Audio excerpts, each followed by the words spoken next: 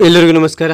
ನಾನು ನಿಮ್ಮ ಚೆನ್ನ ಈ ಒಂದು ವಿಡಿಯೋದಲ್ಲಿ ಕನ್ನಡ ರಾಜ್ಯೋತ್ಸವದ ಪುಟ್ಟ ಭಾಷಣ ನೋಡ್ತಾ ಇದ್ದೀವಿ ಈ ಒಂದು ಭಾಷಣ ಇಷ್ಟವಾಯಿತು? ಇಷ್ಟವಾದರೆ ಲೈಕ್ ಮಾಡಿ ಶೇರ್ ಮಾಡಿ ಸಬ್ಸ್ಕ್ರೈಬ್ ಆಗೋದು ಮರಿಬೇಡಿ ಅಂತ ಹೇಳ್ತಾ ಈ ಒಂದು ಭಾಷಣ ನೋಡ್ತಾ ಹೋಗೋಣ ಬನ್ನಿ.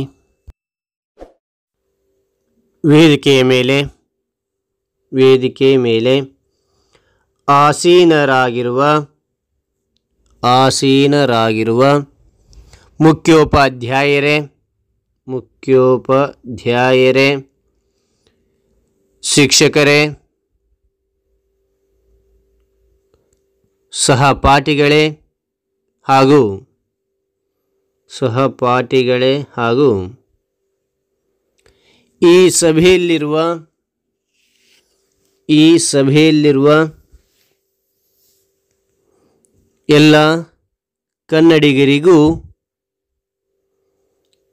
ಕರ್ನಾಟಕ ರಾಜ್ಯೋತ್ಸವ ಶುಭಾಶಯಗಳಾದರೂ ಹೇಳಿ ಅಥವಾ ಕನ್ನಡ ರಾಜ್ಯೋತ್ಸವ ಶುಭಾಶಯಗಳು ಎರಡು ಒಂದೇನೆ. ಓಕೆನಾ? ಮತ್ತೊಮ್ಮೆ ನೋಡಿ. ವೇದಿಕೆಯ ಮೇಲೆ ಆಸೀನರಾಗಿರುವ ಮುಖ್ಯೋಪಾಧ್ಯಾಯರೇ, ಶಿಕ್ಷಕರೇ ಸಹಪಾಠಿಗಳೇ ಹಾಗೂ ಈ ಸಭೆಯಲ್ಲಿರುವ ಎಲ್ಲ ಕನ್ನಡಿಗರಿಗೂ ಕರ್ನಾಟಕ ರಾಜ್ಯೋತ್ಸವದ ಶುಭಾಶಯಗಳು. ಈ ಸಭೆಯಲ್ಲಿ ಕನ್ನಡ ರಾಜ್ಯೋತ್ಸವದ ಕುರಿತು ಮಾತನಾಡಲು ಮಾತನಾಡಲು ಹೆಮ್ಮೆ ಪಡುವೆ ಹೆಮ್ಮೆ ಪಡುವೆ ಈ ಅವಕಾಶ ಕೊಟ್ಟಿದ್ದಕ್ಕೆ, ಈ ಅವಕಾಶ ಕೊಟ್ಟಿದ್ದಕ್ಕೆ ತಮಗೆ ಪ್ರಥಮವಾಗಿ ತಮಗೆ ಪ್ರಥಮವಾಗಿ ಹೃದಯಪೂರ್ವಕ ನಮಸ್ಕಾರಗಳು. ಮತ್ತೊಮ್ಮೆ ನೋಡಿ, ಈ ಸಭೆಯಲ್ಲಿ ಕನ್ನಡ ರಾಜ್ಯೋತ್ಸವದ ಕುರಿತು ಮಾತನಾಡಲು ಹೆಮ್ಮೆ ಪಡುವೆ ಈ ಅವಕಾಶ ಕೊಟ್ಟಿದ್ದಕ್ಕೆ ತಮಗೆ ಪ್ರಥಮವಾಗಿ ಹೃದಯಪೂರ್ವಕ ನಮಸ್ಕಾರಗಳು. ಸ್ವಾತಂತ್ರ್ಯ ನಂತರ ಒಡೆಯರ್ ಮಹಾರಾಜ ಒಡೆಯರ್ ಮಹಾರಾಜ ಭಾರತದ ಭಾಗವಾಗಲು ಸಮ್ಮತಿಸಿದರು.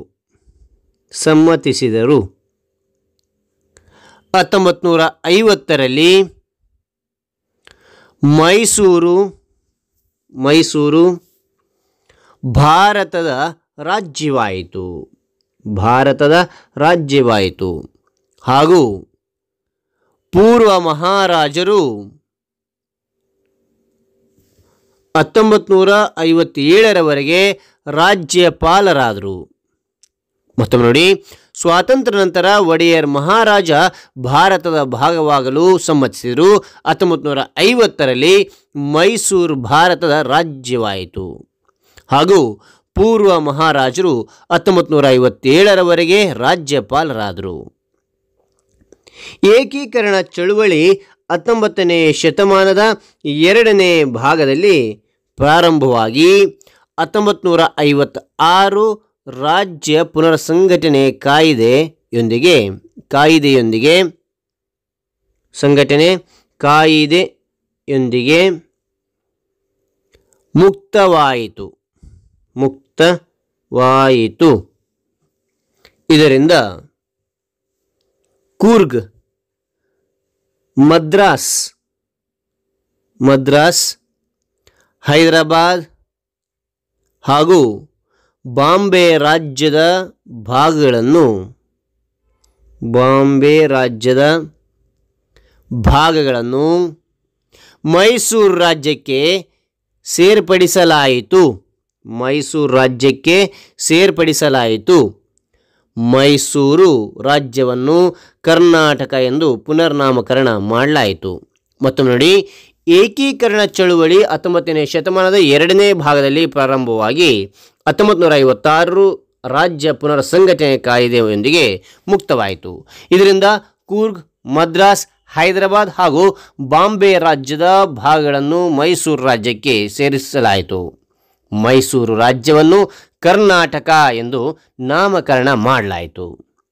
ಕರ್ನಾಟಕ ರಾಜ್ಯ ರೂಪುಗೊಂಡ, ರೂಪುಗೊಂಡಾಗ ಒಟ್ಟು ಹತ್ತೊಂಬತ್ತು ಜಿಲ್ಲೆಗಳನ್ನು ಒಳಗೊಂಡಿತ್ತು. ಒಟ್ಟು ಹತ್ತೊಂಬತ್ತು ಜಿಲ್ಲೆಗಳನ್ನು ಒಳಗೊಂಡಿತ್ತು. ಅಂದಿನಿಂದ ನವೆಂಬರ್ ಒಂದನ್ನು ಕರ್ನಾಟಕ ಅಥವಾ ಕನ್ನಡ ರಾಜ್ಯೋತ್ಸವವಾಗಿ ಆಚರಿಸಲಾಗುತ್ತದೆ. ಮತ್ತೊಮ್ಮೆ ನೋಡಿ ಕರ್ನಾಟಕ ರಾಜ್ಯ ರೂಪುಗೊಂಡಾಗ ಒಟ್ಟು ಹತ್ತೊಂಬತ್ತು ಜಿಲ್ಲೆಗಳನ್ನು ಒಳಗೊಂಡಿತ್ತು. ಅಂದಿನಿಂದ ನವೆಂಬರ್ ಒಂದನ್ನು ಕರ್ನಾಟಕ ರಾಜ್ಯೋತ್ಸವವಾಗಿ ಆಚರಿಸಲಾಗುತ್ತದೆ. ಭಾರತದ ವಿವಿಧ ರಾಜ್ಯಗಳಲ್ಲಿ ಅಲ್ಲದೆ ರಾಜ್ಯಗಳಲ್ಲಿ ಅಲ್ಲದೆ, ಸಾಗರೋತ್ತರದಲ್ಲಿ ಕನ್ನಡ ಸಂಸ್ಥೆ, ಸಾಗರೋತ್ತರದಲ್ಲಿ ಕನ್ನಡ ಸಂಸ್ಥೆ, ಅಮೇರಿಕಾ, ಸಿಂಗಾಪುರ, ದುಬೈ, ಮಸ್ಕಾಟ್ ದಕ್ಷಿಣ ಕೊರಿಯಾ ದಕ್ಷಿಣ Korea, Australia, New Zealand New Zealand, Scot Scotland Scotland ಮತ್ತು ಸ್ಕಾಟ್ಲ್ಯಾಂಡ್ ಮತ್ತು ಐರ್ಲೆಂಡ್ ಮೊದಲಾದ ಕಡೆಗಳಲ್ಲಿ ನೆಲೆಸಿರುವ ಕನ್ನಡಿಗರು ಕರ್ನಾಟಕದ ರಾಜ್ಯೋತ್ಸವ ಆಚರಿಸ್ತಾರೆ ಕರ್ನಾಟಕ ರಾಜ್ಯೋತ್ಸವ ಆಚರಿಸುತ್ತಾರೆ ಎಂದು ತಿಳಿಸುತ್ತಾ ನನ್ನ ಈ ಭಾಷಣವನ್ನು ಮುಗಿಸುತ್ತೇನೆ. ಜೈ ಕನ್ನಡಮ್ಮ, ಜೈ ಭುವನೇಶ್ವರಿ. ಮತ್ತೊಮ್ಮೆ ನೋಡಿ ಭಾರತದ ವಿವಿಧ ರಾಜ್ಯಗಳಲ್ಲಿ ಅಲ್ಲದೆ ಸಾಗರೋತ್ತರದಲ್ಲಿ ಕನ್ನಡ ಸಂಸ್ಥೆ, ಅಮೆರಿಕ, ಸಿಂಗಾಪುರ, ದುಬೈ, ಮಸ್ಕಾಟ್, ದಕ್ಷಿಣ Korea, Australia, New Zealand, Scotland ಮತ್ತು ಐರ್ಲೆಂಡ್ ಮೊದಲಾದ ಕಡೆಗಳಲ್ಲಿ ನೆಲೆ- ನೆಲೆಸಿರುವ ಕನ್ನಡಿಗರು ಕರ್ನಾಟಕ ರಾಜ್ಯೋತ್ಸವ ಆಚರಿಸುತ್ತಾರೆ ಎಂದು ತಿಳಿಸುತ್ತಾ ನನ್ನ ಈ ಭಾಷಣ ಮುಗಿಸುತ್ತೇನೆ. ಜೈ ಕನ್ನಡಮ್ಮ, ಜೈ ಭುವನೇಶ್ವರಿ. ಹಾಗಾದರೆ ಈ ಒಂದು ಮಾಹಿತಿ ಇಷ್ಟು ಆಯಿತು ಇಷ್ಟವಾದರೆ ಲೈಕ್ ಮಾಡಿ ಶೇರ್ ಮಾಡಿ ಸಬ್ಸ್ಕ್ರೈಬ್ ಆಗೋದು ಮರಿಬೇಡಿ ಅಂತ ಹೇಳ್ತಾ ಮತ್ತೊಂದು ಹೊಸ ವೀಡಿಯೋದಲ್ಲಿ ಭೇಟಿ ಆಗ್ತೇನೆ. Thank you thank for watching